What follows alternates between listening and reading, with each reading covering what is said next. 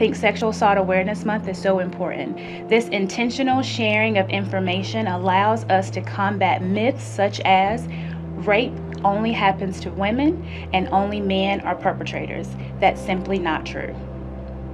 One of the most common is the idea that the violence is somehow provoked by the victim. This falsehood that what someone was wearing or what a person was doing somehow contributed to their assault is a falsehood that's rooted in victim blaming.